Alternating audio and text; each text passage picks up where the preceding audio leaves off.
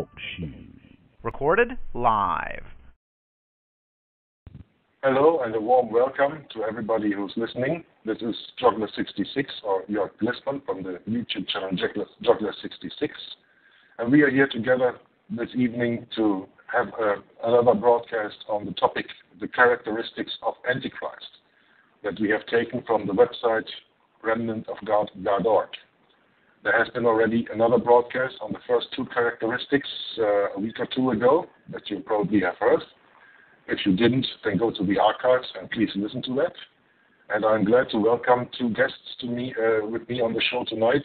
This is uh, first of all Walt Stickle from the website GrandDesignExposed.com, a website full of information on the Vatican, on the Jesuits, on the second beast, on prophecy and on studying the Roman Catholic Church and uh, the history of the Jesuits, the involvement of uh, the founding of them in uh, 1776, the founding of the United States of America.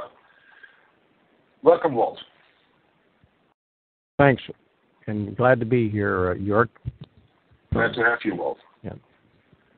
Look- and my other guest is uh, Tom Friess, who you already know from uh, earlier broadcasts also from the website uh, Inquisition Update, and you know him otherwise from First Amendment Radio or Ham Radio. He has been all over the internet spreading the word of Christ for the last at least 15 years, often being attacked like the Bible, but never given up.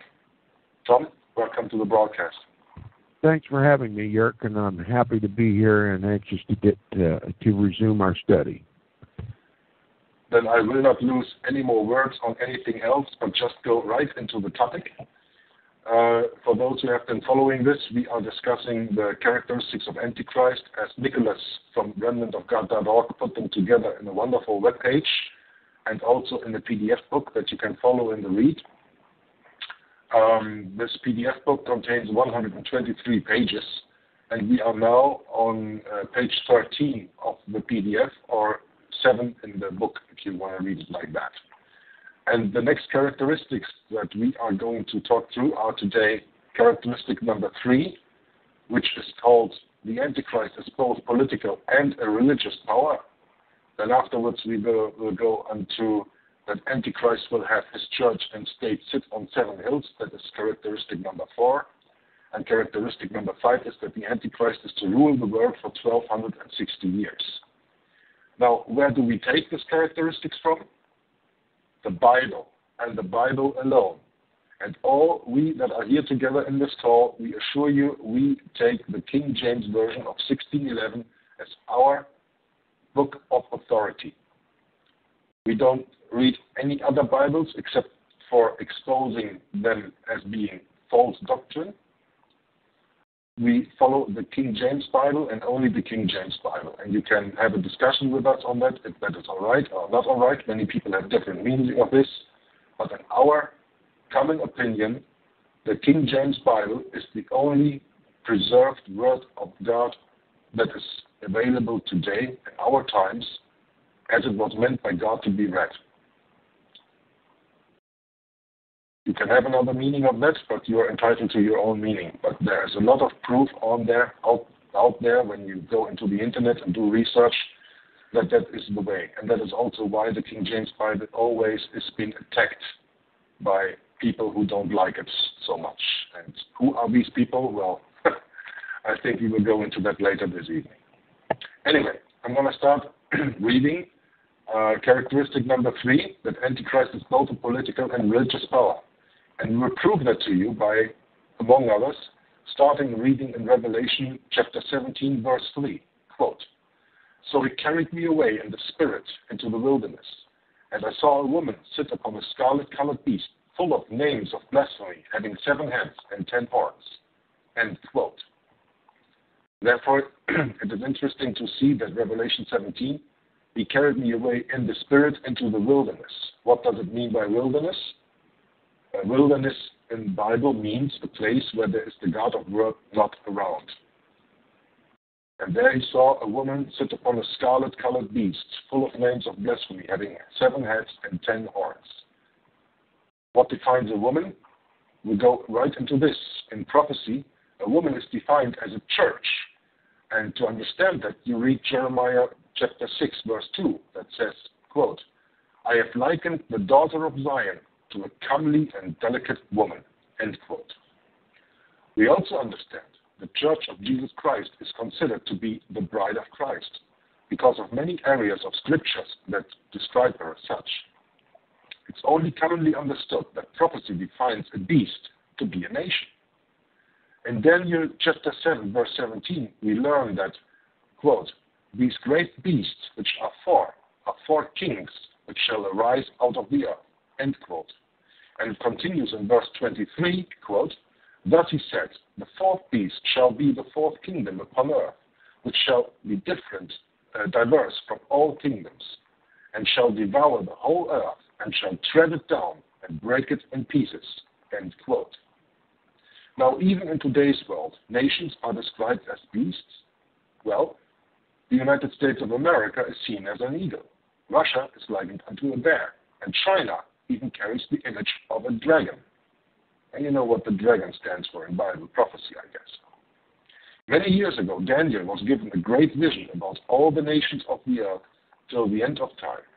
In this version, he saw, sorry, he saw the last beast to be, quote unquote, diverse from all the others, at, uh, from uh, Daniel 7:19.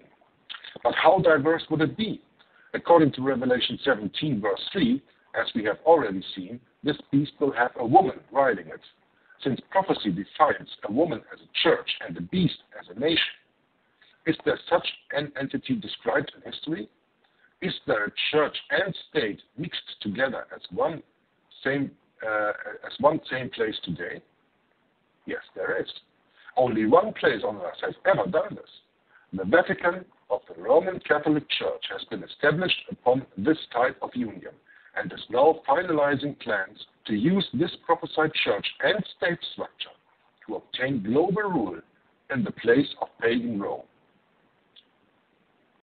This finishes characteristic number three. It was quite a short one, but nevertheless, it is quite a powerful one, and I think there are a lot of things that Tom and I and even Walt would like to discuss about the identifying the woman as a church and especially identifying a beast or uh, as a kingdom. Tom, please share with us your thoughts. Yes, well, it is indisputable in the Christian world today the interpretation of these four beasts that Daniel mentions. Uh, first, Medo Persia, which, or excuse me, rather, Babylon, under King Nebuchadnezzar, we read in the book of Daniel, and they were defeated by the Persians, the Medes and the Persians. And then they were conquered by Greece, by the Greek Empire.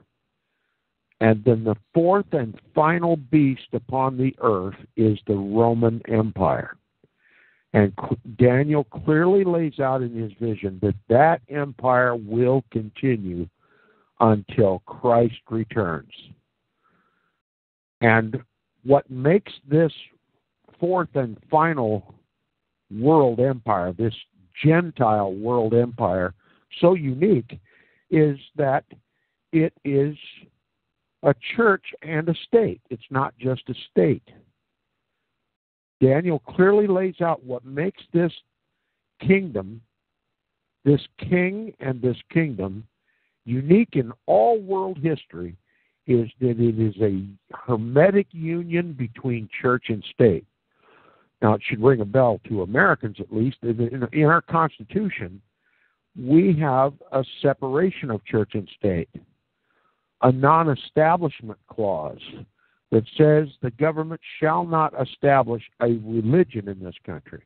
It also guarantees the right of religious liberty, that we should have freedom of conscience to worship God according to the dictates of our own conscience. Now, Christians uh, worship God according to the written word of God, the Bible. But this was to be a religiously free nation.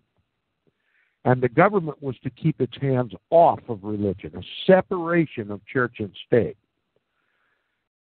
But that's not what characterizes the Roman Empire.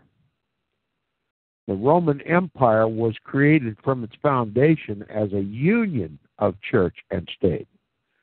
And Daniel makes this perfectly clear, and it makes, well, it makes it possible to make an unmistakable identity as to who this is.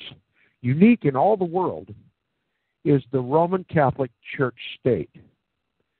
And it is the head, the governing authority of this Roman Empire that we have to admit, if we believe Daniel, if we believe the Word of God, it is the power that rules the world today. Now, many will say, well, Tom, that's impossible. I mean, uh, there can't be just four world empires. After all, there was the Japanese Empire, there's the British Empire, but look at history. Rome has conquered them all.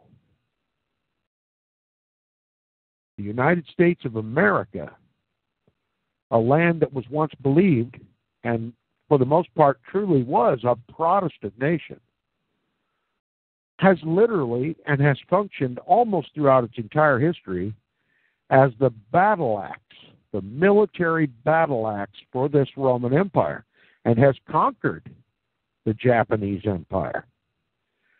And anyone who's familiar with the religious history of England, the British Empire, realizes that Rome has had control of the British Empire. And in reality, it's not a Protestant nation, it's a Roman Catholic nation. At least we can say this that the square mile within the city of London, called London, I refer to it as London proper. Uh, the very authority within the city of, of, of London that is one square mile, and it it is the seat of the British government. In other words, the Queen of England, when she enters that city, she must have permission by the Lord Mayor of London proper. And that's where the Vatican banks are, Lloyds of London, the, the seat of British Freemasonry, the seat of, of Roman Catholic Jesuitism. It is literally the financial center of the world. And it is disingenuous to say, it is contrary to Scripture to say that the world is not controlled by this Roman Empire. To say that Rome does not control both the United States, Great Britain, Australia, the European Union, even China, is to say that Daniel and the Bible is a liar. Now, it took me a long time to comprehend this, but for a long time, I have to admit, I did not believe what the Bible said. I didn't understand it. Let me put it that way. I didn't understand it. I didn't comprehend. But it is true that Rome literally controls the whole world and it has tread it down and broke it in pieces. Now, anybody who has done uh, uh, this research understands that there's an organization called the Club of Rome which is a think tank for the Vatican. And it was their job to set up the framework, the basis for this new global religion, this new global social system, this new global uh, economic system, a, a new world order, essentially. And it was the Club of Rome that broke up the world into 10 regions. In other words, essentially doing away with the existing borders of the nations and redrawing the borders of the nations. Now there are not hundreds of nations in the world, but ten. Of course, they've allowed the people to believe that their national their national boundaries still exist and that they have national sovereignty, but nothing could be further from the truth. All nations are losing their sovereignty. They are being molded and shaped to fit into the new boundaries established by the Club of Rome. And over each one of these 10 regions will be instituted a supreme governor who will operate and, and uh, govern, essentially, each one of those 10 regions under the authority of the papacy. Can I say something, Tom? Yes, yes, please. Uh, I very much like to turn the attention of our listeners here to the European Union because the European Union consists at the moment, I think, of 28 different states. And it started out as an economic union, as a coal union, in fact. That was the first. And then followed the, uh, the, the economic union, and then followed the EG, so-called EG, the European, uh, I don't know what, what, what, the name was anymore. And now today, today we have the so-called the EU, this is the first of the ten kingdoms that really comes uh, into existence before our very eyes as the first uh, as, as the first kingdom to be completed. And in the United States of America, you have since uh, a few years already these North American trade trade, trade agreements uh, uh, thing going on. I don't know the exact name of that right now, but that is the uh, merging of the United States of America together with Canada and Mexico. And this will be the, uh, another kingdom that is there. Then you can see that in the military, the United States of America um, already divided like uh, Africa, and they have just uh, AFRICOM. And those are the kingdoms to come you can when when you get to the Club of Rome and the leaked paper of 1973 or 1976 it was, where this uh, confidential report of the working of the Club of Rome leaked into the public with these 10 kingdoms. You can Google that and look that up, and then you will actually see the way the world is working today, coming these kingdoms into existence. And the EU is the first being finished in that way we already had our first president of the EU, and man no citizen in this European Union ever voted for, the former Belgian Prime Minister, uh, Herman van Rompuy. And he was the president of the European Council, and by that he was the president of the EU for the last few years. Just wanted to intervene there, Tom, but please carry on. Oh, yes, you're absolutely correct. Uh, I found all of this startling when I first finally comprehended it. Uh, they used uh, an irresistible bait to get people to accept these new nations created by the Club of Rome. They used the promise of uh, of economic bounty, okay, economic wealth, uh, trade agreements, cooperation in trade, and of course, uh, that was irresistible. Uh, they wanted they wanted economic strength. They wanted to achieve the benefits of their union for economic strength and also for national security. If we have mutual agreements in trade, the natural progression of that is mutual agreements in law under which trade is conducted and then international agreements with it with regard to to self defense. Yeah, you're right. And and uh, sorry to interrupt you here again, but you have to to understand something when you understand history, especially the history of Europe, where it all comes from. Europe has always, the last 2,000 years, greatly been divided, greatly been divided into national states, all with their own goal. And by taking the work on to first unite Europe, the Vatican is really working on the hardest merger they have to do all around the world. There won't be such a big problem to merge all the countries in the continent of Africa. There won't be such a big problem to merge the countries of the northern continent of America, Canada, United States, and Mexico. But it has worked in the European Union where the, all the different states, 28 I name, which are now in the EU, they all have a very, very distinctive culture on themselves. And if they are prepared to throw that culture overboard to join this Roman Catholic system, then the major work of the Roman Catholic Church has been done because when it can be done in Europe, it can be done anywhere. Yes, that's exactly right. And the European Union has literally become a Roman Catholic superstate. It's just, it's been created by the Vatican through the, co- the Club of Rome. And the natural progression began with the promise of economic boom, then to uh, create not only this economic boom, but national security and defense agreements and a common law for all these nations within the EU.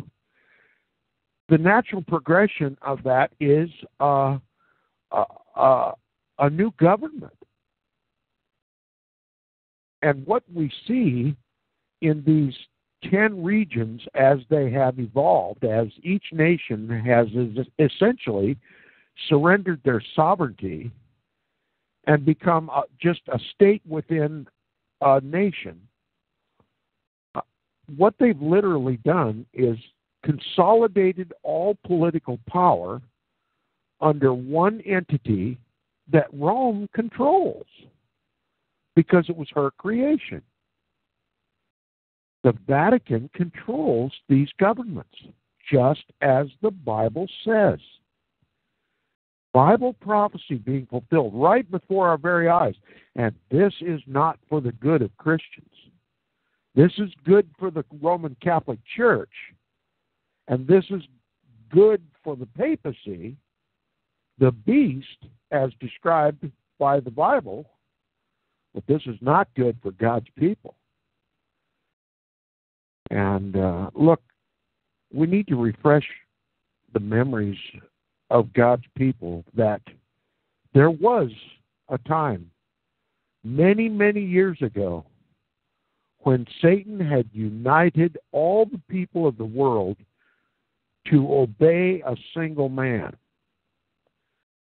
And at that time, they sought to build a tower that would reach up into heaven in defiance of God's command to be fruitful and spread out and fill the earth after the flood.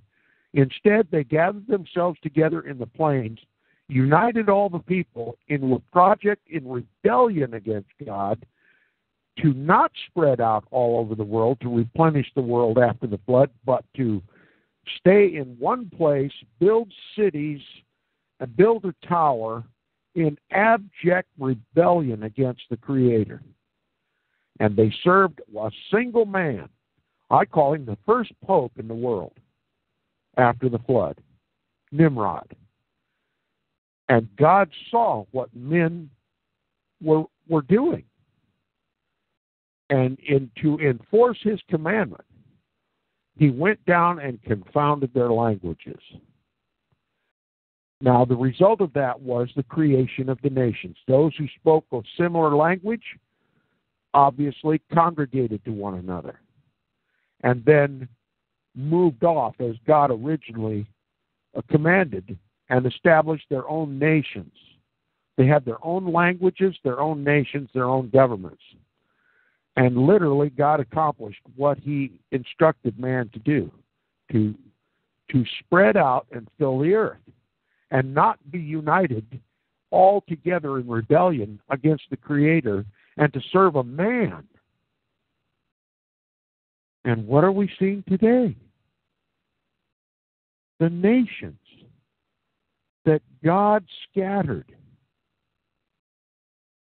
governments that they established, languages that God gave them to make them separate and unique, are now all coming together under the authority of a single man to create another abomination on the earth in abject rebellion against the Creator.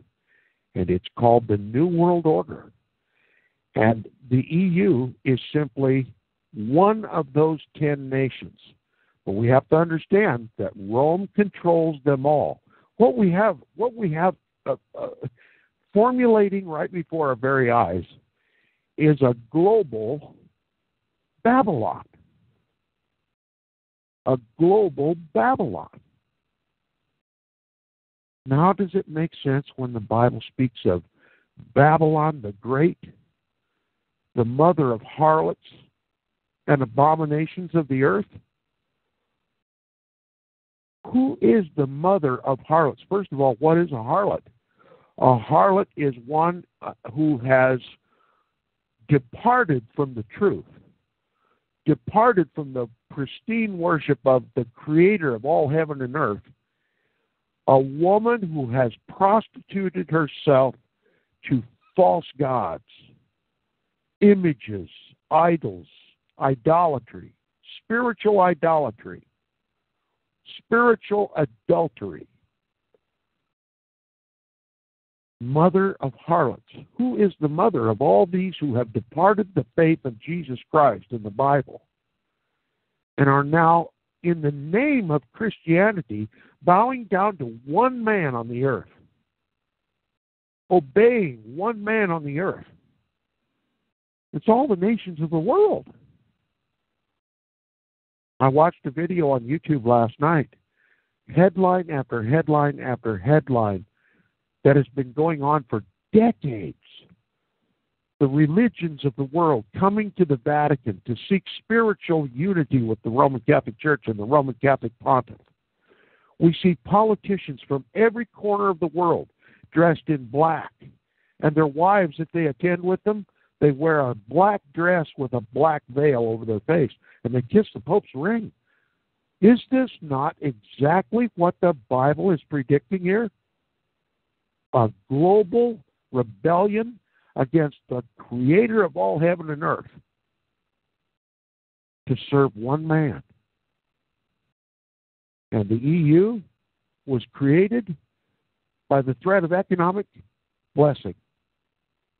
Then it was economic law. Then it was civil law. Then it, all pretense of national sovereignty literally disappeared. It has now become one nation. And all of it was created by the Vatican. Likewise with the the the uh, uh, the United States. We, we were promised economic uh, benefit by getting into trade agreements. And likewise, we have literally surrendered our national sovereignty. Our Constitution literally is just a wasted piece of paper. They don't acknowledge it at all anymore. They're taking away all of our rights, and we're literally coming under a new authority. The President of the United States doesn't have autonomy in this in this country. He doesn't have uh, everybody come to the realization the president of the United States is just a puppet. He takes his orders from somebody else. Well, the Bible tells us who that somebody else is. It's the beast, the Roman beast, and more particularly the woman that rides that beast, the Roman Catholic Church. And we see example after example after example, even now in the mainstream media, the bishops' conferences of the Roman Catholic Church getting together. They're politically active. They are a political juggernaut. They can't be they can't be contradicted. They can't be defeated in politics in this country, especially since Vatican Council II in 1965, when the Protestants, who now believe in futurism, they don't believe the Pope's the Antichrist anymore, literally united with the Roman Catholic Church. And now they have a political juggernaut that is unprecedented in the history of this country. They literally they literally control not only not only our internal laws, but they control our foreign policies. And if Roman Catholic bishops and Roman Catholic Jesuits, together with their ecumenical Protestant counterparts, and you can't even use the name Protestant to describe them. They don't protest Rome anymore. They are literally setting the agenda for this country. And who are they obeying? Are they obeying the God of the Bible? Or they are, are they obeying the self proclaimed God of this world, the Pope of Rome? The whole world wonders after the beast, just like the Bible says. It's evident, it's facts on the ground observable facts on the ground. Nobody can deny this except one who wishes to deceive himself. Bible prophecy being fulfilled right before our very eyes. And of course, all attention is put on Israel as though that were Bible prophecy being fulfilled right before our very eyes. Everyone is is, has their eyes on Israel, and while their eyes are diverted toward Israel, Rome has taken over the house. The Antichrist, the beast of Daniel, the beast of Revelation, has taken over the world, religiously and politically. And it's time for this world to wake up to that reality. If we cannot comprehend or will not re- comprehend that Rome rules this world, lock, stock, and barrel, then we make Daniel and the Bible a liar. And I must believe Daniel, and I must believe the Bible, and I must, I cannot deny the visible facts on the ground. When you see Bible prophecy being fulfilled right before your very eyes, it's not good to deny the undeniable. Well, the proof on the ground that you were just stating, Tom, I just want to elaborate a little bit on that. When you go to Google and you Google in Google Pictures, for example, the Tower of Babel, there is a picture out there that you will see that shows the ancient Tower of Babel as it was built in Babylon that Tom just described a few minutes ago. And next to it, there is a picture of Europe today, where there is also building of a tower, like the Tower of Babel, on the top surrounded by 12 inverted pentagrams, stars, with the top down, with the, with the arrow uh, down, which is the uh, satanic meaning of the pentagram, because you also have the star pointing up, that is the Luciferian, and you have the star pointing down, that is the satanic one. And beneath that picture, it says Europe. Many tongues, one voice. If you look for any more proof right before your eyes, then Google the city of Strasbourg in the north of France, where the European Parliament sits, and look at that building. It is exactly a replica of the Tower of Babel. You don't need any more proof than that. It's right before there in your eyes. You can see it, you can touch it, you can feel it. Sorry, Tom. What, Please go what on. is, what is absolute, what is absolutely remarkable about this is there's no pretense of disguising what they're doing. To make their parliament building fashioned after the likeness of the Tower of Babel, there's no there's they're they're coming out in the open what they're doing. The the the structure of that building is designed that way to send a message. The Tower of Babel is being rebuilt. And Christians better take a warning.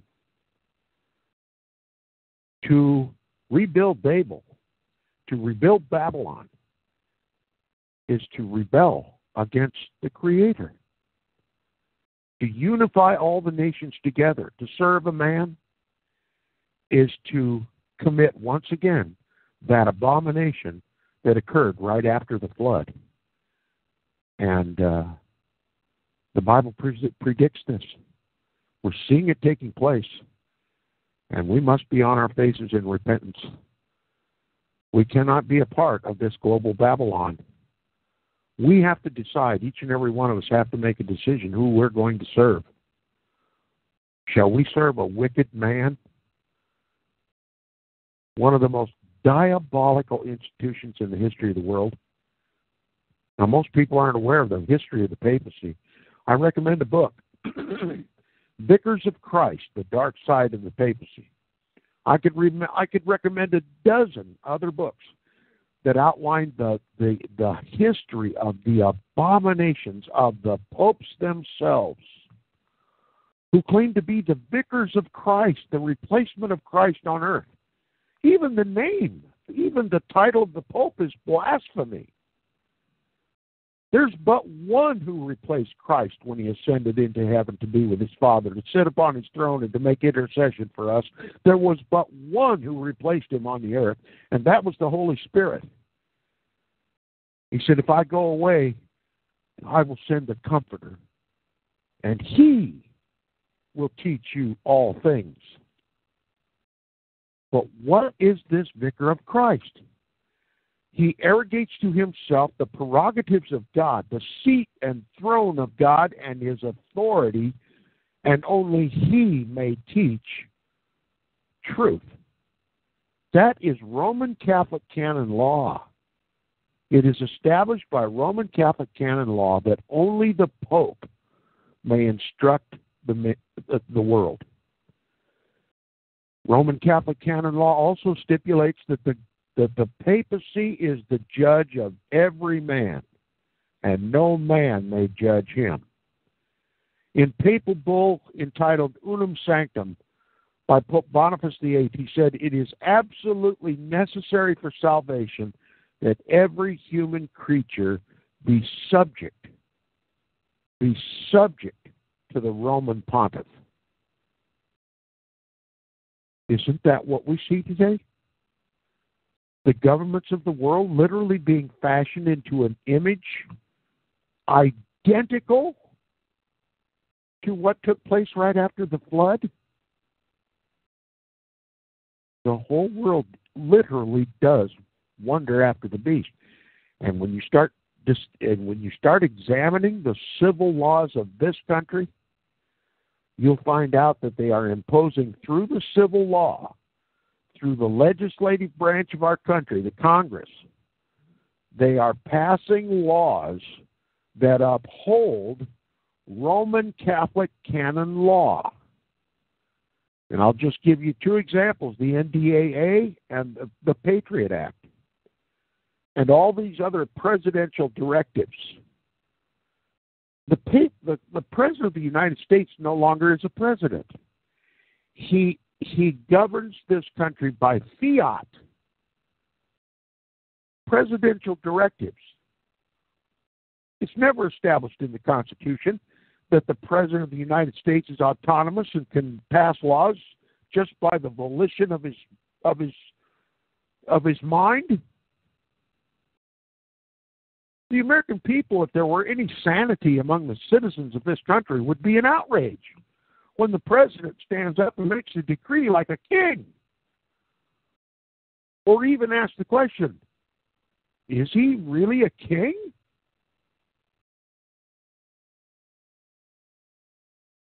What what function what function does the legislature play? They simply rubber stamp these presidential decrees. Look, in essence, what we see on a global scale, not just the United States, not just the EU, but all these other 10 regions that were created by the Club of Rome, is political and religious concentration of power, consolidation of power. Now there are not a hundred and some odd independent sovereign governments of the world that the papacy has to control. No, they've consolidated them all down to 10. The papacy only has to control 10 kings. And if you're a reader of the Bible and you love to read the Bible, read Revelation chapter 17 and listen to what he says about those 10 kings. They make war with the Lamb of God how does 10 nations of the world make war against the Lamb of God when they are mortal and carnal, but He is spiritual? They simply make war against God's people. That's how you make war with the Lamb of God. That's how the ten kings of the earth make war against the Lamb of God by making war against his people and forcing them into a 10 nation conglomerate under the authority of a single man. That's how you make war against the Lamb of God. It says, they shall make war against the Lamb of God. But the Lamb of God shall overcome them, for he is the King of kings and the Lord of lords, not the Pope. For he is the King of kings and the Lord of lords. And it also says, And these ten kings shall hate the whore, and shall make her naked and desolate, and eat her flesh and burn her with fire. For strong is the Lord that punishes her. Eventually, these ten kings are going to see that they serve a man and not the vicar of Christ, but Antichrist. And they will repent and they will stop making war against the Lamb of God, stop killing his people. And then they will unite in hatred against this whore, this Roman Catholic Church, this Vatican power that has incited them against God's holy people, realizing now for the first time that he is not the vicar of Christ, he's the vicar of Satan himself. And they've made war against God's people, they've made war against heaven. And in an attempt, a failed attempt to make restitution to the God of glory, the real King of kings and the Lord of lords, they will destroy the Roman Catholic Church. They will consume her. They will burn her down to the ground. But that won't happen until the woman that rides the scarlet colored beast, who is now in control of these 10 global nations, these 10 kingdoms, this consolidated power, this, this monstrous Babylon that they've created only after they have made war against God's people will they comprehend the sin, the incomprehensible sin that they have committed against the lawful throne of heaven. There's a global slaughter about to take place. And what about America? A nation once Protestant that knew that the papacy was the Antichrist, that protested the Antichrist of the Bible, the Roman Catholic Church. What about Protestant America? They too have surrendered their Protestant knowledge and have united with this beast in Rome under the ecumenical movement. Judgment is going to come to this country a national Christian rebellion against the God of the Bible. They've made the Vatican their God. They've made government their God. And for their from their God they depend on everything. Health care, financial independence, national, international sovereignties.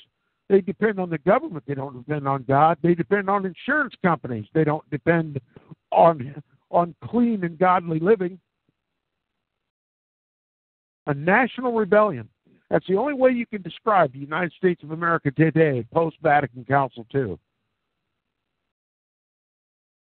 National rebellion against the one who's blessed us ever since our founding. What thanks the American people, called Christian, have given to their Savior by uniting with the Antichrist of the Bible under the promise, the meager promise of economic bounty.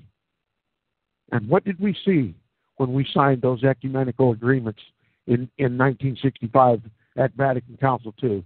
We've seen the wealth of this country disappear in debt, in war, in in immigration, in They've shipped out all the good jobs. The papacy is coming to this country this fall, September 24th. Jorge Bergoglio, the author of the, the Dirty War in Argentina back in the 80s, a mass murderer, and a pedophile protector, global priest pedophilia all over this world, hundreds of thousands of little kids abused by these demons from hell called Roman Catholic priests. He's the head of them all. They obey him and no one else. And he is coming to address a joint session of Congress in September 24th. Not if there was one shred of Protestantism left in this country would it happen. The literal beast of the Bible The Antichrist is coming to address a joint session of the lawmakers of this land. What do you think they're going to do after they've been blessed by the man of sin, the son of perdition, the biblical, historical, and prophetic Antichrist? I'll tell you what they're going to do, just like what the Bible says. They make war against the Lamb of God by making war against his people. There's an inquisition coming to the United States, the likes of which we can't even comprehend. They're going to make us sign our souls to secure health care. And if we rebel, we're not going to have health care. And besides that, we're going to be taxed to death and fined for not joining this diabolical system. You're not going to have access to your bank account if you don't go along with this Vatican Jesuit led New World Order. Do I sound angry? Maybe I should not be angry, but I don't see how I cannot be angry when I now realize that my pastors and teachers all throughout my Christian life never told me one word about this. They never even told me the papacy was the Antichrist. They never told me what the Protestant reformers believed. They never showed me how the Bible prophecy about the Antichrist, the little horn, the man of sin, the son of perdition is all fulfilled. Every single one of them in only the papacy can't be anybody else. They never told me that the papacy rules over Washington D.C. and the and the laws that are passed. Even the Supreme Court now, for the first time in the history of this country, is seven. Count them, seven Roman Catholics. Many of them belong to the most the most conservative Roman Catholic organization called Opus Dei. Warriors for the Pope, uh, oath spitting warriors for the Pope. And there's only two Jews to fill up the bench seven Roman Catholics and two Jews sit on the seven, on the on the Supreme Court of this country. But that's not the worst of it. You want to hear the worst of it? For the first time in the history of this country, there is not one single Protestant on that court. That's the worst of it. There's not one single Protestant on that court. The Pope, the Antichrist of the Bible, has seven representatives on that on that on that court. And there's not one Protestant on the court to protest Rome's agenda for this country. That ought to make the hair stand on the back of your neck. If you have any comprehension about history, that ought to give you nightmares. And you know what the Supreme Court does? What the duty of the Supreme Court is in this country? To interpret the Constitution. And what do you see happening to the Constitution? What do you see happening to freedom of speech, freedom of the press? Everybody admits now the press is controlled. They don't tell us the truth. What do you see about religious liberty? You see churches burning, Waco. You see Ruby Ridge. You see Tony Alamo Christian Ministries. You know what's unique about them? they wouldn't accept the Pope as their king. Frightening, isn't it? Makes you angry, doesn't it? If you comprehend it, it makes you angry. Uh, I could go on a month. I think I've made my point. I think the Bible has made the point. I think God has made the point. I think Daniel has made the point. I think the Protestant reformers made the point. The papacy is the Antichrist, and we are in bed with her up to our necks. And we have no way out. The only hope for God's people in this country is the same hope, the only hope the Israelites had when they were in Egyptian bondage deliverance. Deliverance. Let my people go so that they may come and worship me, not a man. And I'm getting prepared for that day. I'm shaking loose the Roman chains of bondage. I'm shaking off these iron chains. I am no longer loyal to a disloyal, apostate, rebellious nation. I am no longer subject to the government of men. I am subject to the holy God of creation. It's the only hope I have. Who cares if I live or die, if I die worshiping the beast?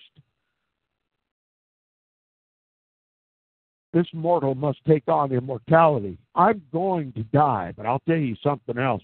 I'm going to die worshiping my God and no one else. And obedience is the most pristine form of worship. All your holy days, all your churches, all your Sabbaths, all your prayers, everything is second to obedience. I would have obedience and not sacrifice. Back to you, Yurt. Oh, thank you, Tom, for another, again, wonderful and powerful statement that you brought up here. And I think we uh, haven't exhausted this. I think it is about the smallest point of this 26 characteristics of Antichrist. But as you said, you could go on for a month and I could join you because there's so much more to tell. But before we go on to the next points, I will just emphasize another point that was in this characteristics that we have not been spoken of that much, and that is also very important, I think. And that is when we read Daniel 17, uh, 7, verse 23. Just a small quote of that. The fourth beast shall be diverse from all kingdoms. What is the diversity this fourth kingdom shows of all the other kingdoms that have been before it? That is that church and state are mingled together. That is what, when you see the statue that was built in Babylon to honor Nebuchadnezzar, and when you see these four kingdoms, I mean, that's not the statue because the statue of Nebuchadnezzar was pure gold, but when you have the statue that you know is biblical, with the golden head, the silver arms, the, uh, the bronze breast, and the iron legs, and the iron legs stand on iron foot mixed with miry clay. That is the mixing of civil or temporal and spiritual power. This fourth beast is different from all beasts before it because church and state are not separated. And if you want to have proof of that, just go to your congregation, wherever you are in the United States of America, and check if your congregation has signed a tax exempt form called 501c3 that was very hard pushed by President George W. Bush in 2006.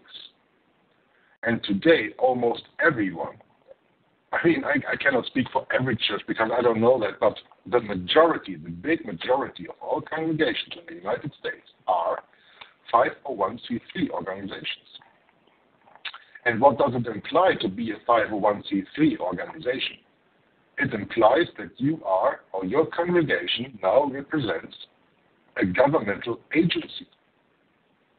That also implies that your church is not allowed in a certain way to speak a bit against the government because you cannot bite the hand that feeds you. And that is the way to shut the spiritual movement, if there was any to begin with, totally up and totally control the spiritual movement, totally control all the churches. It doesn't matter if it's a Baptist church, if it is a First Methodist church, if it is Seventh day Adventist church, or whatever congregation you have over there, or Lutheran, or Baptist, I, I, I don't know all the different names, I don't care for. Look it up for yourself and check it out. They are all 501c3 organizations. And by that, they are government controlled. And that is what diverses this fourth beast from all the others, where church and state were separate. The kings had next to him, next to them, priests or even druids or whatever, but they had spiritual leaders next to them. And the Pope, sitting in Rome, is the only one in world history that always combined church and state. That is why you have on the Vatican flag the two crossing keys. The golden key standing for the spiritual leadership, and the silver key standing for um, the temporal or civil leadership the Vatican represents. And that has been told to us by Daniel now 2,500 years ago. He saw all that coming. Maybe, Walt, you have a little comment on that? Tom? I think it's well stated. I've uh, I've breathed up a lot of air, but you described the the, the uniqueness of the Roman Catholic Church state. It is both a church and a state, and it claims divine authority over all the churches, not just Roman Catholic churches, all the churches. Roman Catholic canon law stipulates that if you've been baptized by water, you are subject to the Roman pontiff. That means your churches, your local churches, have kept that secret from you. Have you been baptized in water? Do you know who commanded us to be baptized? Jesus. Yet the Pope asserts himself over Jesus and says, if you have been baptized by water in whatever church, you are a subject of the Roman pontiff. It's unique in all the world, and it can command the civil power, the governments of the world, to enforce her canon law. That is what you get when you get a church state union. That's why our founders understood the Protestant view that if they allowed church and state to be united in this country, the Pope would rule. We wouldn't have a president. We wouldn't have a Congress. We would have a Roman dictator. And for proof of this, we, we all have to remember, some of us who are old enough to remember, the first Roman Catholic president in this country was John F. Kennedy. And there was a Protestant bloc against his presidency. They liked him, they wanted to vote for him, but they needed from him a guarantee that if he was going to sit in the Oval Office, he would not allow the Pope to run his government. He would not allow the Pope to be the clandestine king of the United States of America. He would not re- he would not uh, allow the Oval Office to become a vassal of the papacy. And John F. Kennedy had to go around this country and guarantee the Protestants that he would not allow the Vatican to run his government, that he was an American president not a Roman president. And so they voted for him. But that's not the case today. The presidents of the United States get on Air Force One and they literally just kick her in the flanks, and she goes to Rome all on her own. She's been there so many times, she knows her way by heart. Just like an old horse knows her way to the barn, Air Force One knows her way to Rome. And every president since John F. Kennedy have made a trip to the Vatican and have had private meetings with the popes information exchanging hands, orders changing hands that the American people were never made privy to. Why do the presidents of the United States, elected by the people of this country, why do the presidents of the United States go to Rome wearing black and veils and kissing the ring of the Pope on their knees? Why do they meet the man of sin, the son of perdition, the Antichrist of the Bible in private session? What do you think they talk about? You don't think they're exchanging intercontinental cookie recipes. Let me tell you, the self proclaimed King of Kings and Lord of Lords is giving them instruction. Just like the Bible says. That city, that great city, which reigneth over the kings of the earth. And the American people should be outraged anytime an American president even thinks to go to Rome. The American people don't comprehend. They just don't want to believe what is plainly evident before their eyes. Our government is in abject rebellion against the people who established it. We, the people. And they now serve one single man. That's what makes this Roman Empire so unique to all the other Gentile empires that preceded her. The Greek, the Medo Persian, all the way back to the Babylonian. It just makes too much sense, doesn't it? Shall we turn from it?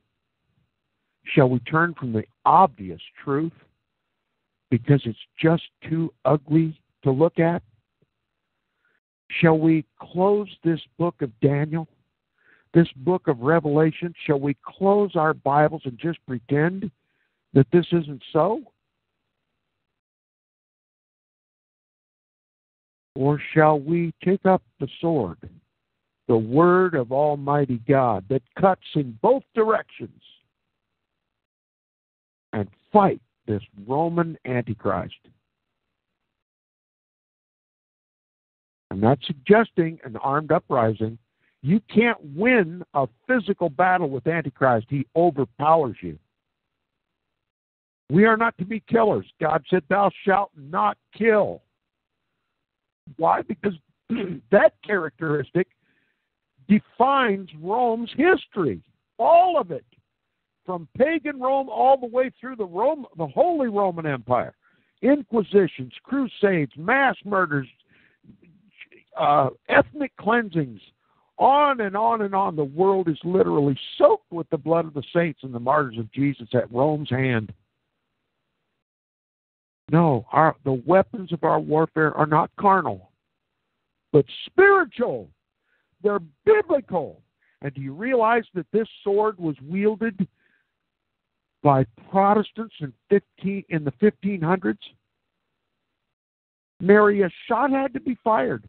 All they had to do was show the people from the scriptures that the Pope fits the prophecies of Antichrist. And once they saw it, they rebelled against the governments. They overthrew their governments. They established constitutional governments that guaranteed the people's rights, the rights which the papacy denied, the right to read the Bible and to worship God according to the dictates of their conscience, the leading and teaching of the Holy Spirit. So the Vatican went to war against the Bible. They tried to burn all the Bibles. And when the people wouldn't quit printing Bibles, they started to burn not just the Bibles, but those who read it. Isn't that what's coming to this country? The psalmist said, There's nothing new under the sun. We all know history repeats itself. That's a biblical concept. Should we, any of us, rightly expect anything different from Rome than what she has displayed for the past 1,500 years? It's comfortable for Americans to sit read the paper, watch the news, and see all these ethnic cleansings, all these wars and rumors of wars taken. Well, it's not here. We're safe and sound. But let me tell you, the beast is ready to make war right here in terra firma, USA. For the first time in American history, we're not going to be exempt from bloodshed on our own turf. And guess who's going to be taking our lives? Our government, with the support of the papists and the ecumenicals who have joined ecumenically post Vatican Council II. It's going to be Christians destroying Christians. You know what they're going to call us? Radical fundamentalists. They're going to call us domestic terrorists.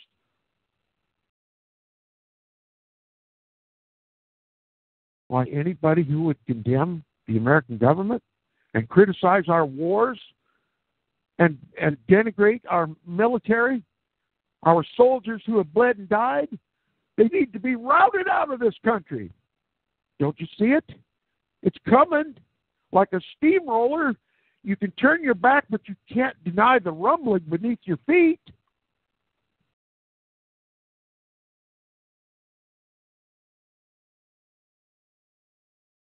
You better get out your sword. The Word of God. It's sharper than any two edged sword that cuts to the marrow of the bones. Only sanity can restore this country. Only biblical sanity can restore this country. Only a comprehensible understanding of Bible prophecy, of the book of Daniel and Revelation, can save this country. Because only in the Bible is the reality of the truth available.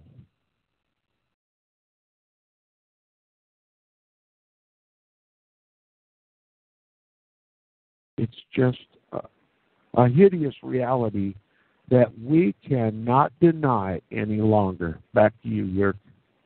Thank you, Tom.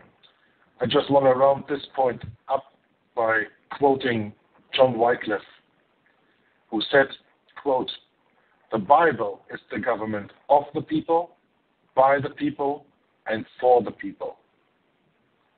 Think about that when you next read the Constitution and then check your daily newspaper and make a little bit control of how much of that Constitution still is in working.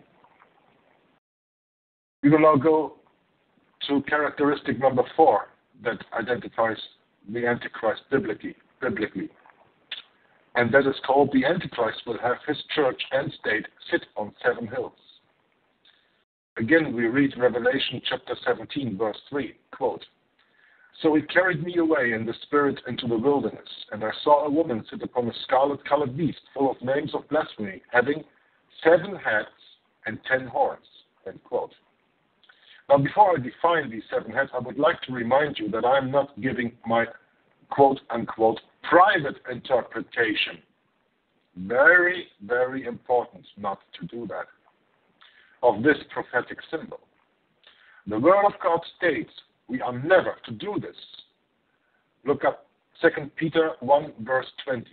According to Revelation, that beast the woman is sitting on, that we already defined as the Vatican Church and State conglomerate, will have seven heads. But how does prophecy define those seven heads? Look just a few verses lower to find out. The angel that is showing John this vision actually tells him point blank what those heads actually mean. Quote, and here is the mind which has wisdom. The seven heads are seven mountains on which the woman sitteth. End quote from Revelation 17, verse 9. Looking into the Strong Concordance, how is that word mountains defined? In Strong Concordance number 3735, a mountain is defined as probably from an obsolete oro or to rise or rear. Mountain, mount, or a hill. So the word mountain can also be translated out as a hill. Is there a church and state? Church and state sitting on seven hills somewhere on this world? a lot of people, and this is not in the text right now, but a lot of people say, well, Jerusalem also is on seven mountains, and this city is on seven mountains, and that city is on seven mountains. But there is not one city that combines church and state sitting on seven hills. Continuing with the text. A quote from the Catholic Encyclopedia, page 529. Quote, It is within the city of Rome, called the City on Seven Hills, that the entire area of the Vatican State proper is now confined. End quote. And another quote from geographyabout.com website answers the query What are the seven hills of Rome? Rome is known to be built upon seven hills. Rome was said to have been founded when Romulus and Remus, twin sons of Mars, ended up at the foot of the hill Palatine and founded the city. The other six hills are Capitoline, the seat of the government, Quirinal, Viminal, Esquiline, Caelian, and Aventine. And the Encyclopedia Britannica tells us on the query, the seven hills of Rome in Italy, quote, group of hills or, uh, on or about which the ancient city of Rome was built. The original city of Romulus was built upon Palatine Hill, number one, Latin Mons Palatinus. The other hills are the Capitoline, Quirinal, Viminal, Esquiline, Caelian, and Aventine known respectively in Latin, and I don't want to give you all the Latin names here because they are not uh, that much important uh, in our reading here. But you understood the seven names of the hills being given. Interesting, a little remark from myself now, to see that Romulus and Remus were the sons of Mars. Mars, the red planet, the planet of war, the god of war in the pagan Rome was Mars. And another interesting diversion from that, when you go into the book Rulers of Evil by Tupper on page 160, and you read about the history of the Rothschilds, who were defined in the British Encyclopedia as the guardians of the Vatican treasure, the guardians, not the owners. The company they formed was called Mayer Amschel, Bauer, Rothschild und Söhne. Mayer Amschel, Rothschild und Söhne. M-A-R-S. So they have the initials of Mars in their name. And they have a red shield because Rothschild is German for red shield. And those were also the shields the Roman soldiers in pagan Rome defended themselves with when they went into battle. You know, you have a sword and a shield, and that shield was red. So there is a lot of history for you to study next to what we are telling you right here. But I'm going to go reading on the text.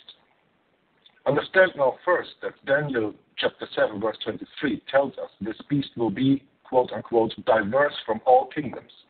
How diverse, you ask?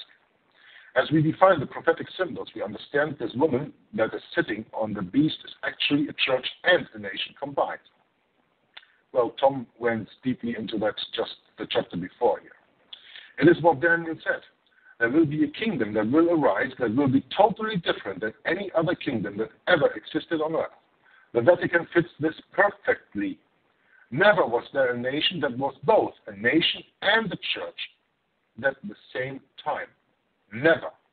And even if there was, did it have seven hills to sit on, as we see Rome, Italy has been has been doing since the since its inception? Do a search online for seven hills, and you would see numerous pages with maps of the city of Rome.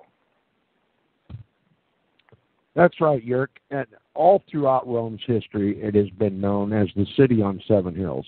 It has also been referred to, even by Romans, even by the papacy, as Babylon. Now that ought to tell you something. But I'll tell you something. I got a list. I got a an email from a listener the other day, and uh, she said she was a long time listener to my program, Inquisition Update, and that she agreed that the Bible is describing Rome. That is, until somebody told her that Mecca, the religious center of Islam, is also located on seven hills, or rather, seven mountains. She says, no, they're not just little hills like Rome, these are big mountains. And then she inundated me with all kinds of information that seems to point to Mecca as being this latter day Babylon. But I would ask that listener is is Mecca is Mecca a city, a church and a state that reigns over the kings of the earth? Is Mecca decked in scarlet and purple, the colors of the bishops and the cardinals of the Roman Catholic Church? Does Mecca have a golden cup in her hand? The Eucharistic cup of the Roman Catholic Church? An icon that Rome has established to represent herself, a, a woman with a golden cup in her hand. Anytime one looks upon that image, a woman with a golden cup in her hand, must recognize it as being Rome because Rome has taken that icon to represent herself.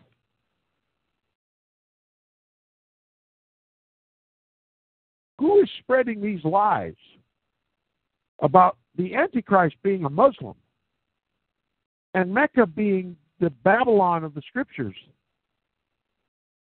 When was it ever in the history of Christianity believed that Mecca was anything? Islam wasn't even created till the sixth century. Is Mecca guilty of the blood of the saints and the martyrs of Jesus and all the slain of the earth? Or is Rome? How can one believe these lies? How can one carry the Bible in his hand and believe these lies? Who's spreading these lies? I'll tell you who it is. One of them is Walid Shoebat. Walid Shoebat. He's been he's had several in, uh, opportunities to testify before Congress. He goes about the whole United States universities in Canada and the United States saying that the Antichrist is a Muslim. Walid Shoebat himself was a Muslim as a kid. He was the grandson of the, the Mufti of Jerusalem, who was a bosom buddy of Adolf Hitler. Husseini was his name. And Walid Shoebat grew up under the tyranny of Islam. And he was a bomber for Islam, killing Israeli Jews. And then all of a sudden, one day, he says, God revealed that the land belonged to the Jews. But guess what? Walid then uh, was obviously, one might expect, that if he believed that the land belonged to the Jews, as he says, was disowned by his family and was his very life was threatened by his own family, his father and his brothers. Went on a hunt to kill him. And he came to this country and he married a Catholic woman. He came to this country to escape the sword of his own family, and he married a Catholic woman. He's not a Christian. He's a Roman Catholic. He serves his Pope. Now, who better than a Roman Catholic to shed the onus of the Antichrist away from the papacy, away from his church, and onto a false Antichrist, a Muslim one that cannot be described as a woman with a cup in her golden cup in her hand, who it cannot be described as a church and a state, which cannot be described as seated on seven hills, which cannot be described as being decked in gold and silver and precious stones and pearls, and arrayed in scarlet and purple, the very colors of the Roman papacy. Walid Shoebat is a liar. Walid Shoebat is a papist liar. Walid Shoebat serves Antichrist, not Jesus Christ. And Walid Shoebat needs to go back to Islam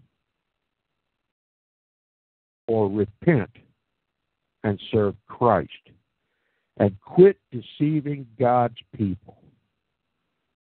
And Walid Shoebat is only one of hordes of disinformation specialists that are about going about this country, invading discussion groups on the internet, invading and interrupting true biblical knowledge on Inquisition Update and Walt's Mystery Babylon News Radio and other Christian sites on the internet.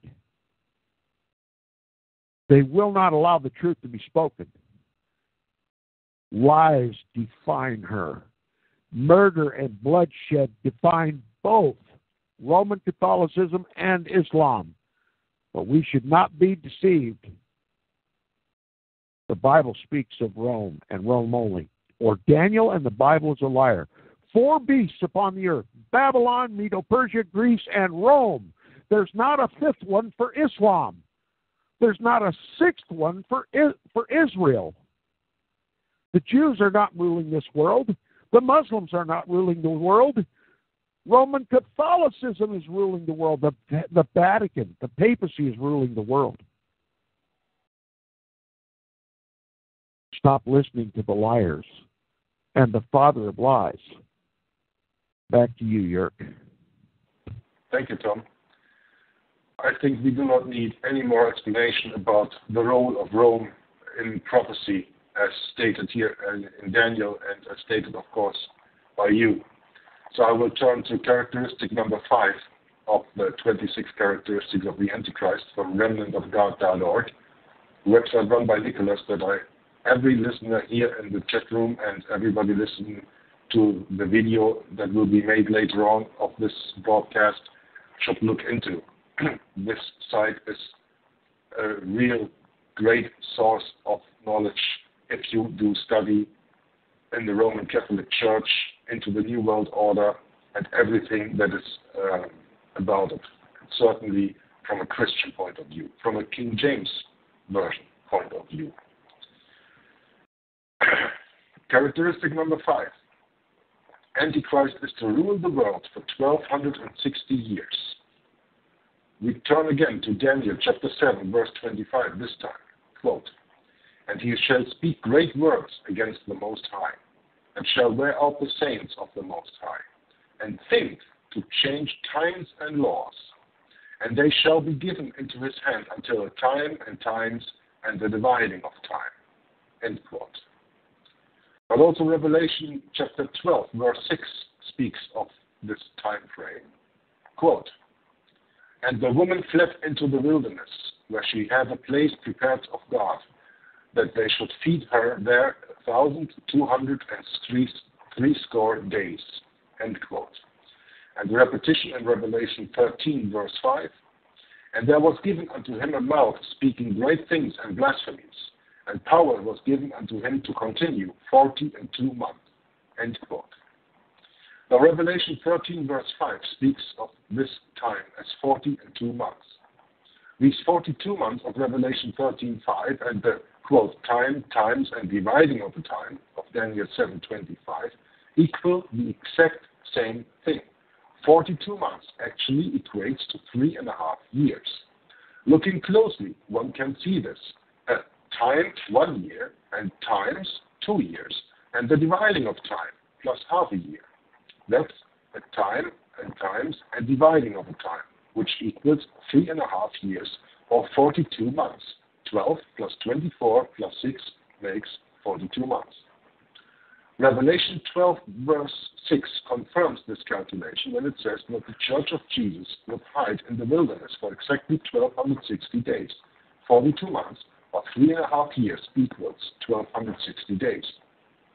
Now, still, some will say that 42 months does not equal 1260 days because all our months do not equal 30 days each. The fact here is prophecy speaks of biblical months.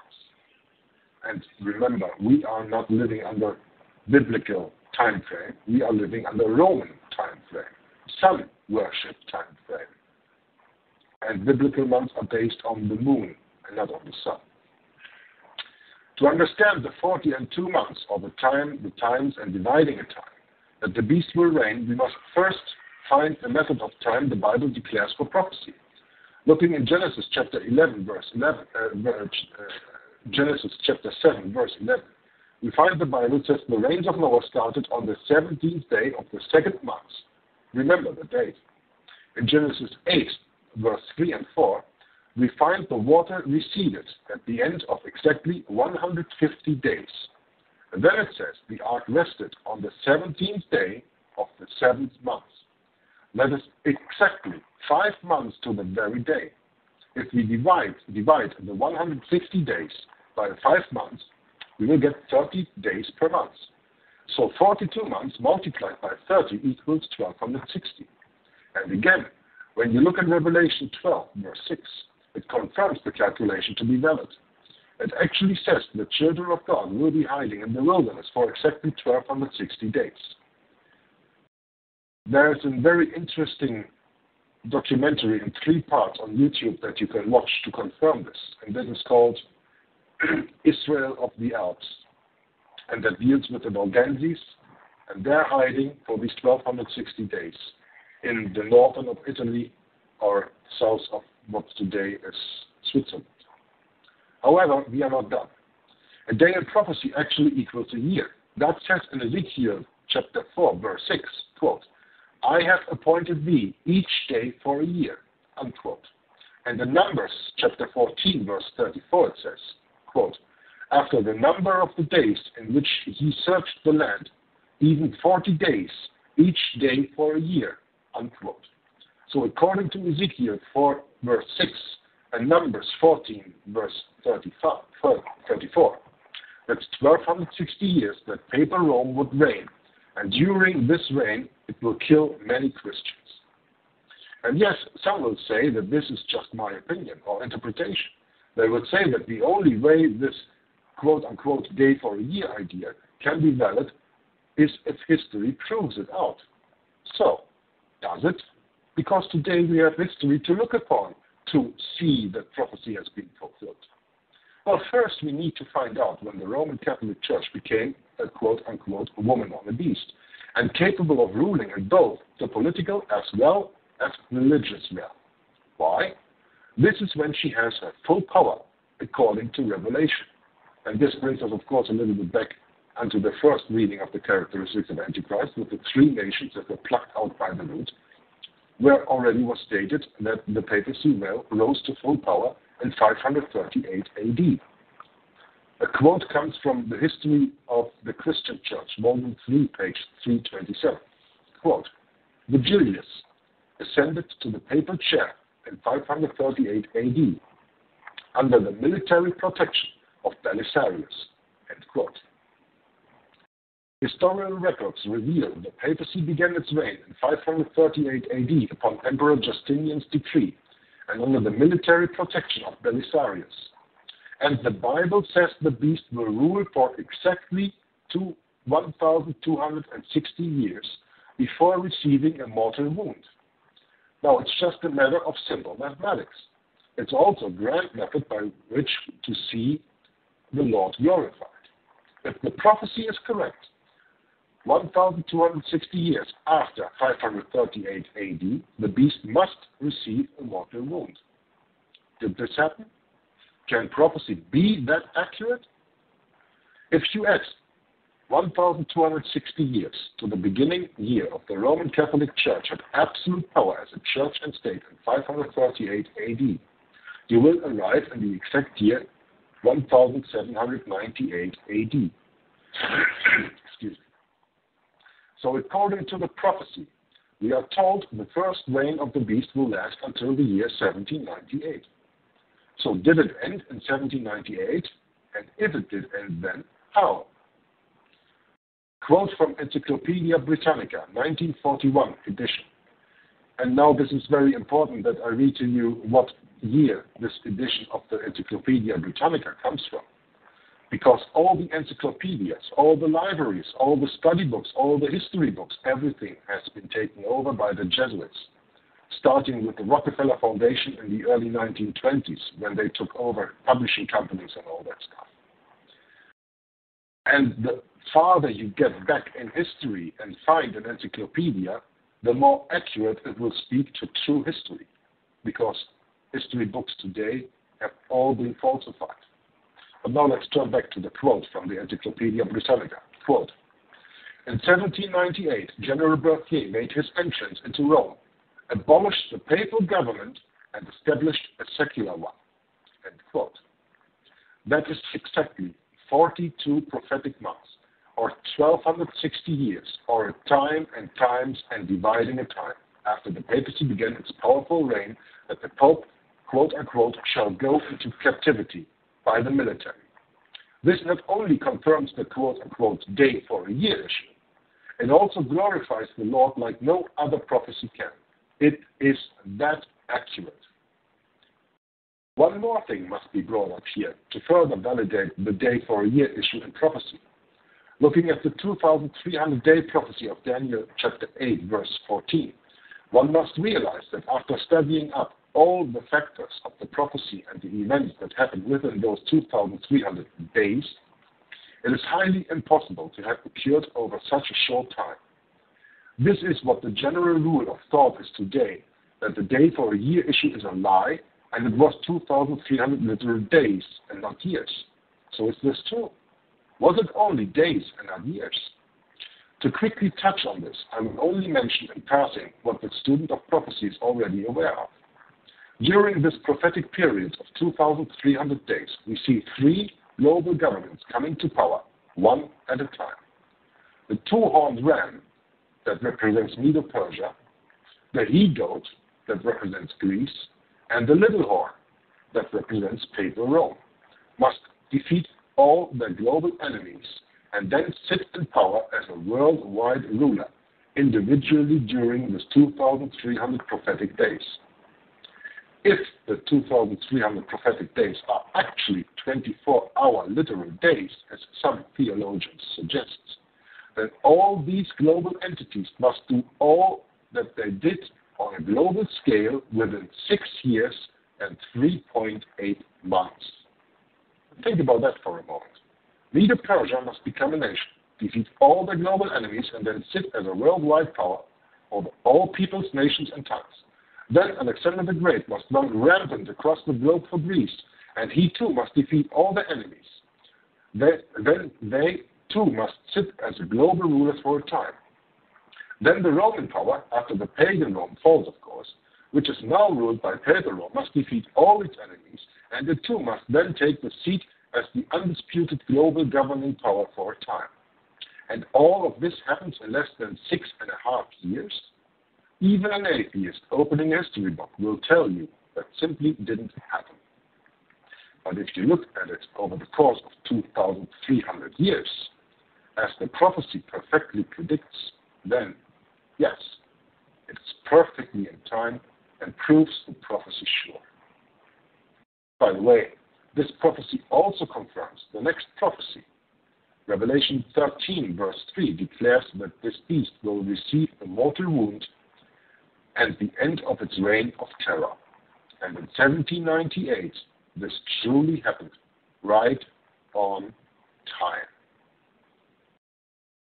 This concludes the reading of the first five, and in this broadcast, first uh, number three, four, and five characteristics of the Antichrist based on Bible study and be sure that you have the KJV and not another corrupted Bible at your hand when you do this. I am now very glad to make turn over the microphone again to Tom, who has surely something very interesting to say about this Bible prophecy and this characteristic of the Antichrist. Please, Tom, share a little with us. Isn't it amazing? God gives a prophecy and when it is fulfilled, it becomes history. So, how do we accurately know when a Bible prophecy has been fulfilled? When we see its fulfillment in history. There's one thing many people don't understand. God didn't give us Bible prophecies so much so that we would be able to accurately predict the future. God gave us prophecies so that once the prophecies are fulfilled precisely and perfectly in history, as we've just read, we can have faith in the Bible that cannot be conquered. And no more so do we have faith in the Bible than the literal fulfillment, the precise fulfillment of these prophecies. This 1260 years were fulfilled perfectly and exactly and completely in history. Documented history cited by the most respected encyclopedias in the world. Now, when did the prophecy begin? It began when the woman that was the church, the Roman Catholic Church, was seated upon the beast. Without the beast, she's not complete. She cannot fulfill the prophecy. She must be seated on the beast. And what does the beast represent? If the woman represents the church, as we've seen in prophecy, then the beast must represent a, a government, a kingdom, uh, and and it must carry with it the authority of a king beasts in the Bible, Daniel defined what a beast is in Scripture. And if we deviate from his his definition of a beast, we have lost understanding. A beast, according to Daniel, is a king and a kingdom. Okay? Every king cannot be a king unless he has a kingdom, right? So they go hand in hand. And the kingdom and the king exercise civil power, governmental power. The church alone has not the power to control the government. But a church that's seated upon the beast, united with the beast, and in control of the beast, certainly if she's seated upon it, she has control of it, doesn't she? Common sense dictates then it is a union of church and state, and the woman controls the state. And that literally defines the Roman Catholic Church state. The only candidate to fulfill this prophecy in all of world history is the papacy. It's unique in all the world, just like the Bible predicts, diverse from the first and breaks up the world and stamps it in pieces. And she, once she was seated, seated, this woman was seated upon the beast, then the image was created. The biblical image of this church state union was created. The papacy, or rather the Roman Catholic Church, literally became not only a religious power, but a civil power.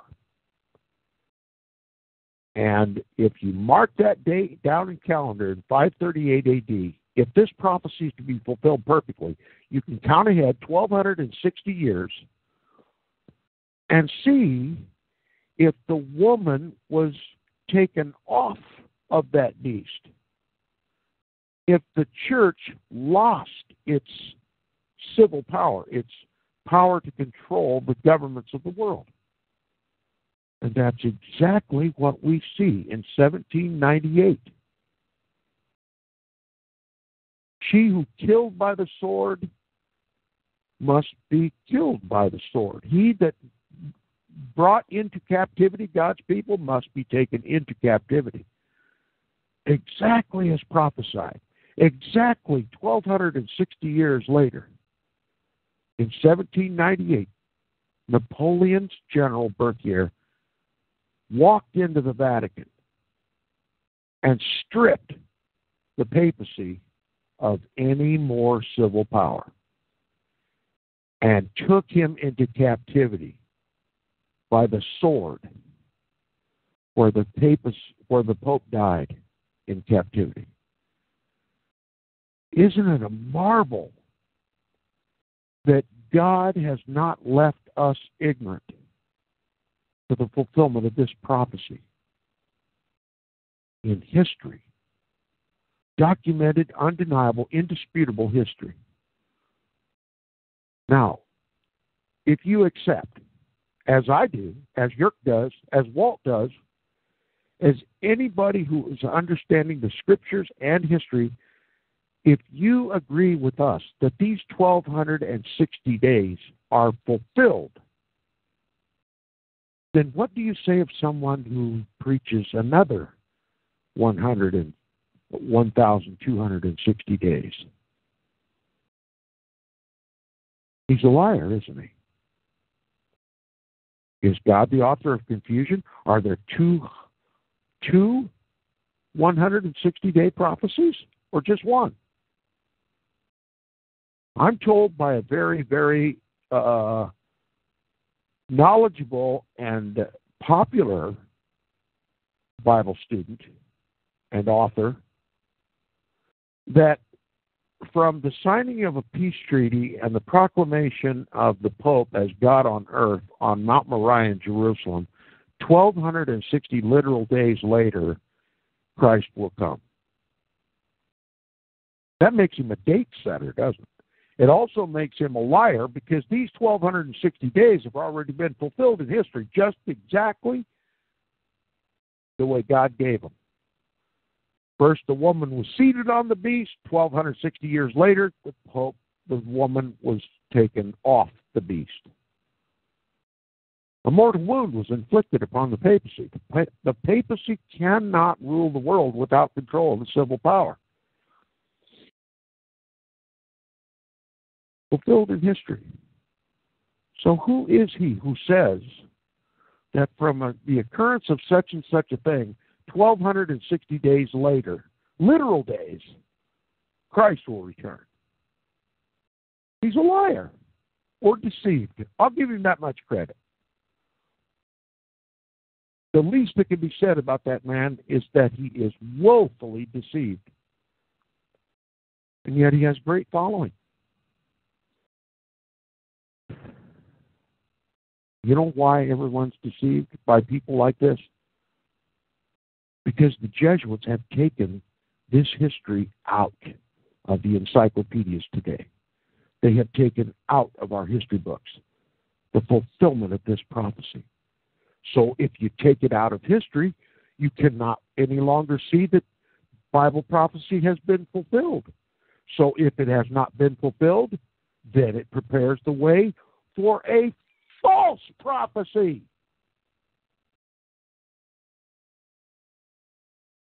And this is just exactly what they did with Daniel's 70th week.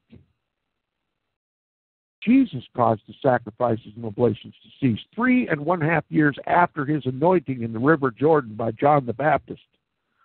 Three and one half years later, in the midst of the week, the 70th week, he caused the sacrifices and oblations to cease by giving up his own life and God ripped the veil of the temple. If you study if you study Jewish law, the Mosaic law, that veil had to be in place. It had to be in place, or the high priest of Israel could not enter the sanctuary, could not enter the temple and make atonement for the sins of Israel. With that veil out of place, with that veil ripped from top to bottom, indicating that it was God who ripped it, then the sacrifices and oblations ceased. Any priest who entered that Holy of Holies with that veil not intact would have been killed. according to the Jewish law. And at the very time that Jesus gave up the ghost and said, It is finished, the veil of the temple was ripped from top to bottom. At the very time when the high priest of Israel was making sacrifice for the sins of Israel to make atonement for the entire nation. Isn't that stunning? How Jesus perfectly fulfilled the 70th week of Daniel? And of course, someone would say, well, Tom, there's three and a half years remaining. Yes. Then Jesus, through the Holy Spirit, continued to confirm the covenant that he confirmed with his own blood. How do you confirm a covenant? You fulfill it. Jesus did it in the midst of the week. He fulfilled it, the covenant, in his blood in the midst of the week. It's perfect.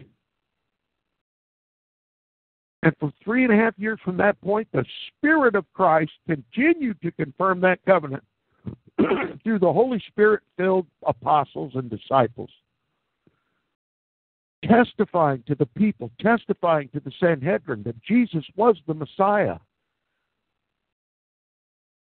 He became sin for us. He died for us. He paid our price. And he's no longer in the grave, but sitting at the right hand of the Father. And he's been seen among us. Thousands of us have witnessed him. Multitudes saw him ascend into heaven. Multitudes saw the graves opened and the saints came forth and testified. And finally, Stephen, who testified for the last time at the end of the 70th week of Daniel, at the very end of the 70th week of Daniel, the prophecy that pertained to the Messiah, to the Jews, and Jerusalem was coming to an end, Stephen finally convinced the Sanhedrin that Jesus, that they had wickedly slain their own Messiah. And the Bible says they ripped their clothes. Why do you think they ripped their clothes? Because the Holy Spirit, through the testimony of Stephen, convinced them beyond denial that Jesus indeed was their Messiah, who came right on time.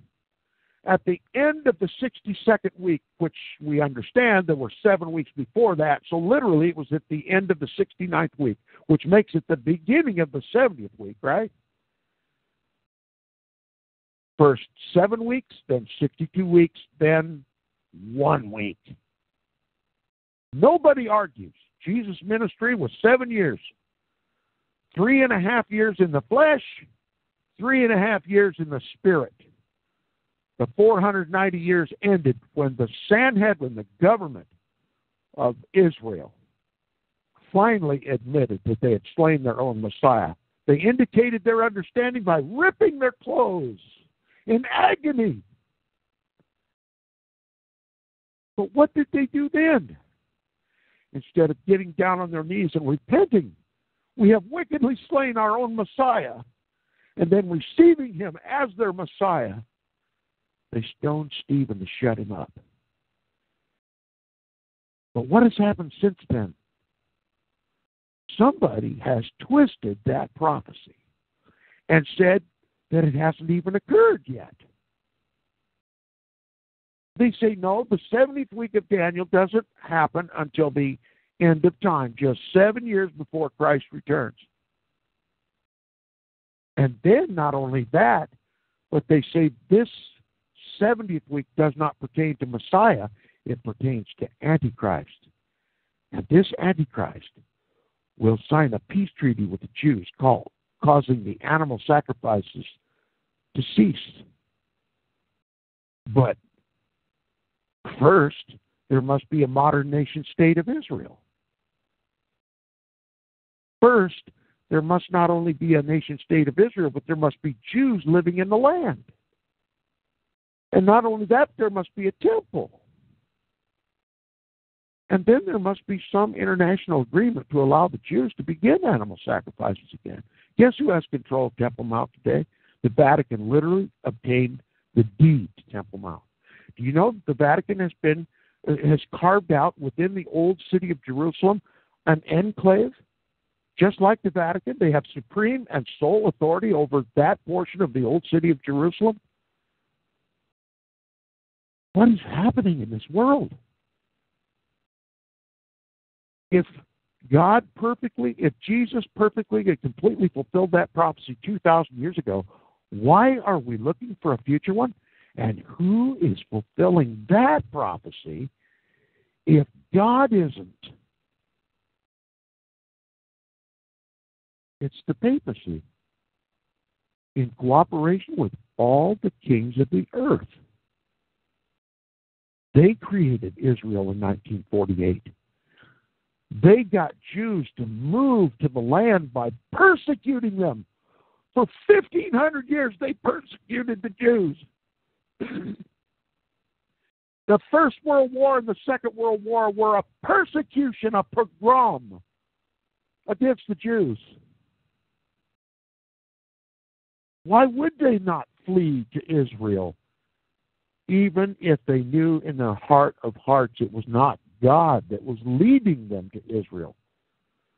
There were many Jews all over the world that said, We will not go to Israel. Not until our God delivers us, just like he did out of Egyptian bondage, by a strong right hand, by the Shekinah glory, and feed us and clothe us and keep us warm and protect us from our enemies. Only then will we go back to our ancient homeland. It was He who cast us out, and only He can bring us back. And we will recognize Him when He comes. We will not go to Israel. It's just an international ghetto for the Jews. You go to Israel, you will die. Because God did not bring you there, someone else did. And those voices had to be silenced. Those voices had to be silenced. Are you beginning to comprehend what, what the Second World War was really about? And after all that dissenting voice was destroyed, only then could the Antichrist, the self proclaimed vicar of Christ on this earth, with the cooperation of the governments, Adolf Hitler, Joseph Stalin,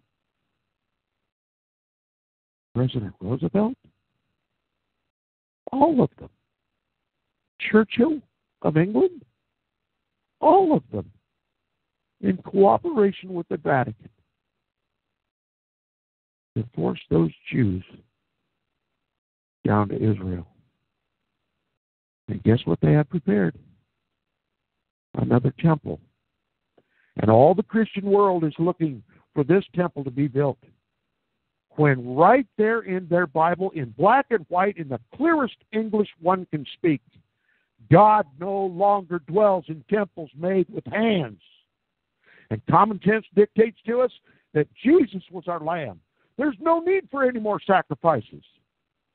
There's no difference now between Jew and Greek. Why? Because the Jews have to receive Jesus just like the, the Greeks do.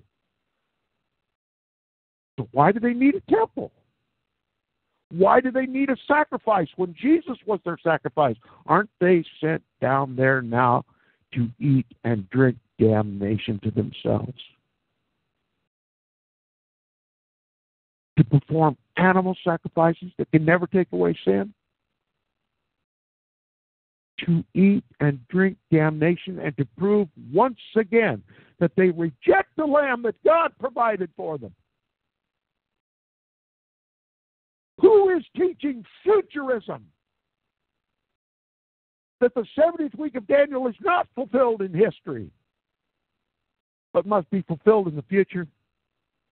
It came from the Roman Catholic Church because even Roman Catholics read the scripture and said, now listen, this description of Antichrist sounds a whole heck of a lot like the papacy itself. Am I in the church of Satan? Am I in the Antichrist church? And of course, when they question their priests and their past, uh, you know, their, their priests and their popes, why no? We're the vicar of Christ. We're the church established by Jesus Christ. The papacy cannot be the Antichrist. So it must be someone else. Well, you can believe either one. You can either believe that the Antichrist was Nero or Caligula or Alexander the Great, who wasn't even a, a part of the fourth and final beast, which is ridiculous. Or you can believe in an imaginary future one, but it can't be the Pope.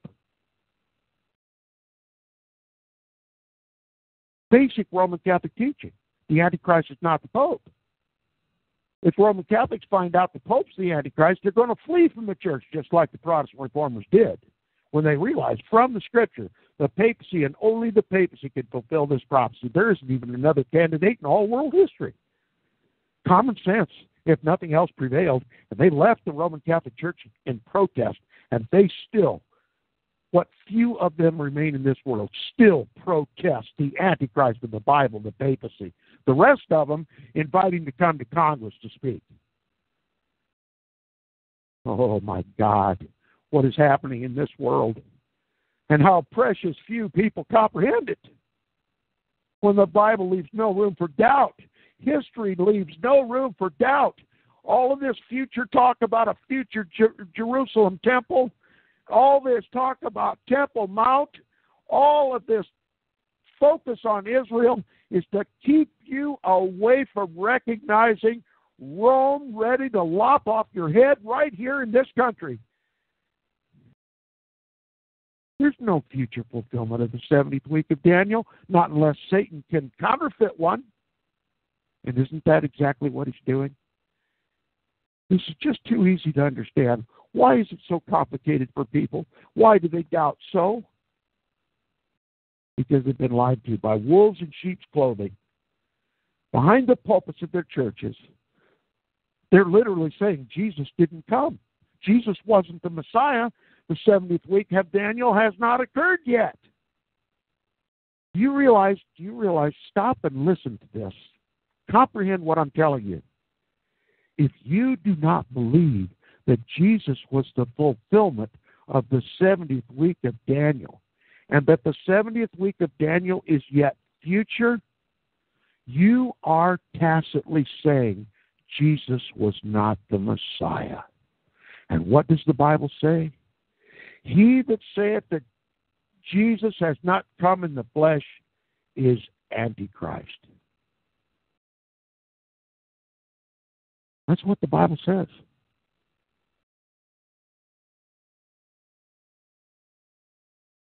He who denies that Jesus has come in the flesh, the same is Antichrist.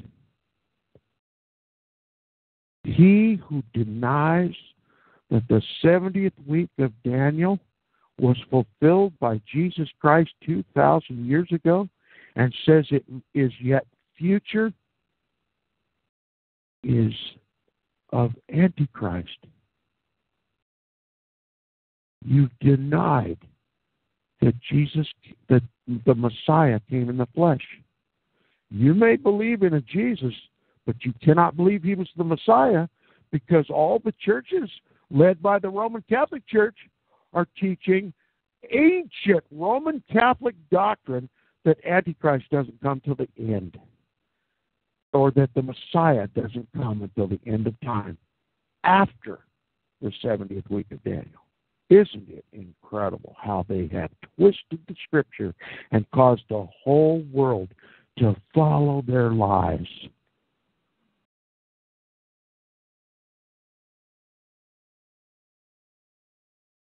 If you believe in futurism, you've literally denied that the Messiah has come. And what's the whole purpose of that? To get you to receive a false Messiah that the Vatican intends to present to you on Temple Mount in Jerusalem. Because when the when somebody causes the sacrifices and oblations to cease in this phony, counterfeit, futurist temple in Jerusalem, the whole world will be irretrievably convinced that that, that man is the Antichrist. And once they have pinned the tail on the Antichrist and somehow done away with him. The world has recognized him as Antichrist and has rejected him, then the door's wide open for a false Messiah. And I'm here to tell you right now, it's going to be the papacy.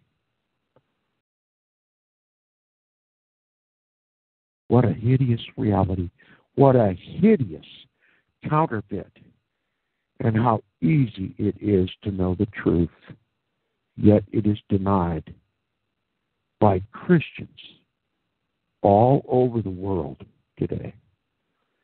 Back to you, Jörg. Thank you, Tom. That was, as expected, a wonderful explanation of you of this last point, but also the two points before that.